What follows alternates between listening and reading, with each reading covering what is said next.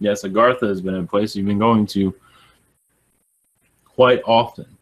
There have been beings there that are not welcome. So if you feel stressed out of any kind, it's because you are dealing with, yes, a strange kind of insectoid that's not on your world physically that you can.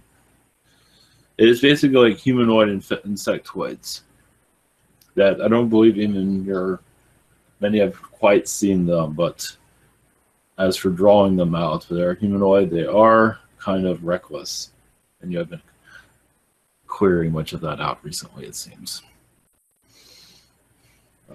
Yes. An ocean energy what we are seeing.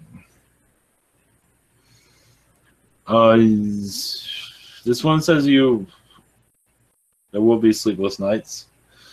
Is because you are well, he says you are going undercover basically, meaning beings are not going to know who you are.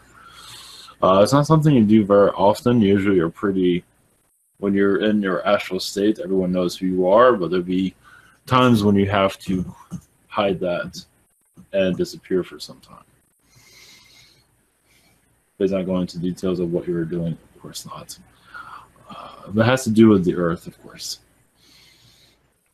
There's as many presence here that are unwelcome at this time. So that's what you're here for. Okay.